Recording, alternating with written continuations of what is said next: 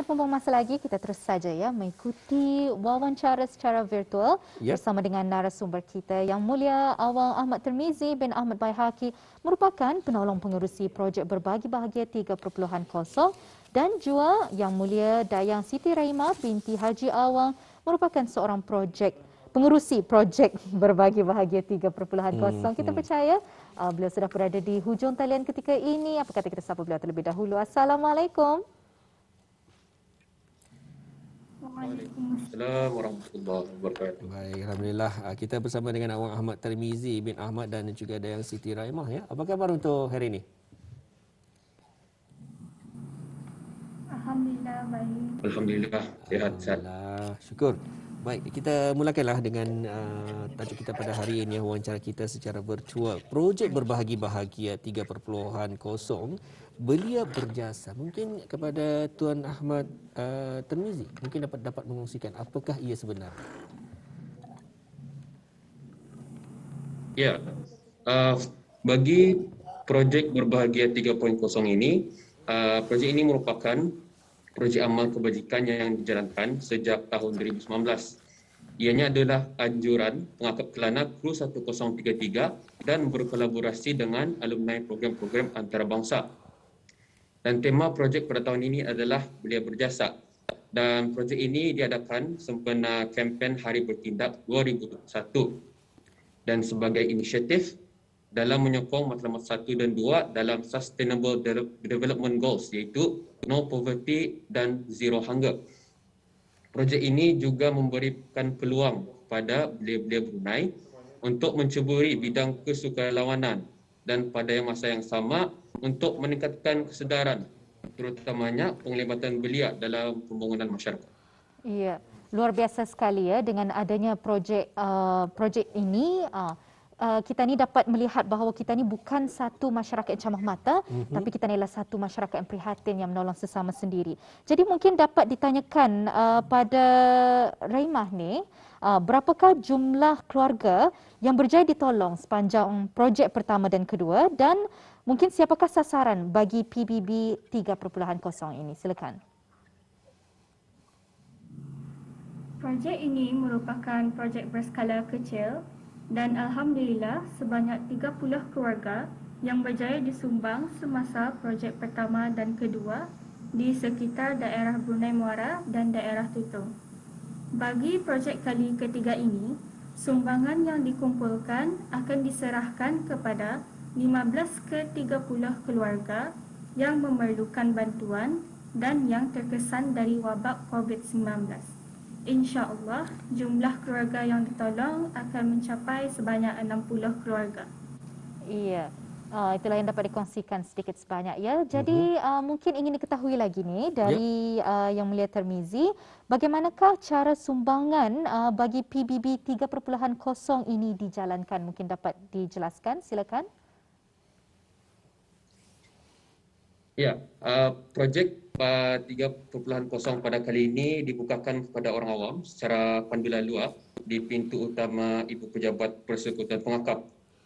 Dan tarikh uh, menerima sumbangan bermula pada hari ini iaitu 20 November hingga 4 Disember 2021 dan jam menerima sumbangan adalah bermula dari 9 pagi hingga 5 petang bagi hari Isnin hingga Khamis dan 9 pagi hingga 11.30 pagi bagi hari Jumaat dan Sabtu dan sumbangan uh, orang ramai boleh uh, menyumbang dalam bentuk makanan asasi seperti beras, uh, gula, air mineral, biskut kering dan lain-lain.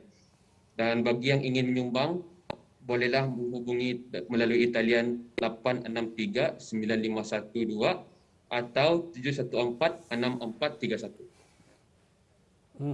Bagaimana pula dengan tarikh pelaksanaan akan uh, projek berbahagi bahagia 3.0 ini dijalankan? Alhamdulillah, projek berbagi bahagia 3.0 akan dilaksanakan selama 3 hari bermula pada 13 Disember hingga 18 Disember di keempat-empat daerah insya-Allah. Mm-hmm itu uh, kita telah pun uh, kongsikan bersama ya. mungkin uh, soalan uh, seterusnya mungkin dapat dikongsikan sedikit uh-uh. oleh Nadidah. Uh, ya, dan uh, ini juga kita ni mengetahui ni uh, kalau sekiranya ada apa-apa harapan kepada orang awam, mungkin uh, yang Melihat Mizi boleh mengongsikan. Silakan. Ya, Alhamdulillah. Uh, untuk projek berbahagia 3.0 kali ini, uh, kami berharap daripada orang ramai uh, untuk menyokong kami memenuhi objektif dan insyaAllah untuk melaksanakan projek ini dengan jayanya. Dan sokongan dan sambutan dari orang ramai juga adalah sangat diharapkan bagi menjayakan projek berbagi-bahagia 3.0. Dan bagi perkembangan lanjut, bolehlah melayari uh, kepada uh, social media Instagram kami pbb.brunei ataupun Brunei Rovers underscore 1033.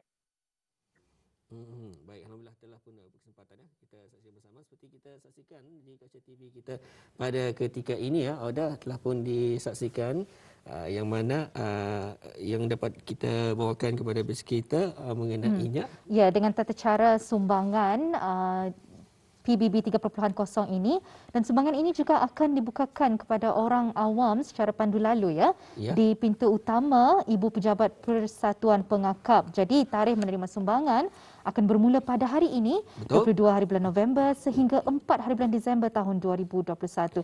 Jadi jam menerima sumbangan adalah bermula dari jam 9 pagi hingga 5 petang bagi hari Isnin hingga Kamis dan 9 pagi hingga 11.30 pagi bagi hari Jumaat dan hmm, Sabtu. Alhamdulillah, semoga ada berkesempatan jom mendapatkan maklumat berkenaan dan mungkin dapat dikongsikan lebih lanjut bersama mungkin bersama Tuan Ahmad Termizi ataupun Dayang Siti Raimah bagaimana untuk orang ramai mengetahui lebih lanjut mungkin adakah uh, talian untuk mereka hubungi ataupun lebih mudah mungkin ada laman Instagram yang ya. boleh mereka kunjungi.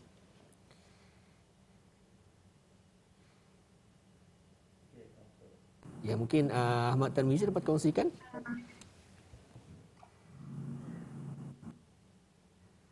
Ya uh, untuk uh, uh, melihat uh, perkembangan kami uh, projek berbagi-bagi 3.0 bolehlah uh, melayari, melayari kami punya social media Instagram uh, pbb.brunei ataupun Brunei Robust underscore 1033.